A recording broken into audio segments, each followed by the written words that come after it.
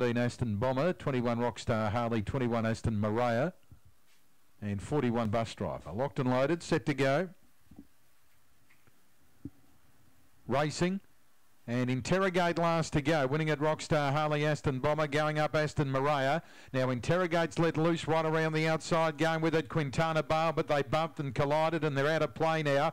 Aston Current on the rail, Gypsy Cinnamon bus driver. Aston Bomber leads into the straight. Aston Maria going after it. Aston Bomber kick clear though from Aston Maria, and Aston Bomber beats Aston Maria, Quintana Bale. Aston Current followed by Gypsy Cinnamon. Next in would have been bus driver Interrogate last Rockstar Harley, and the run there's 21.98.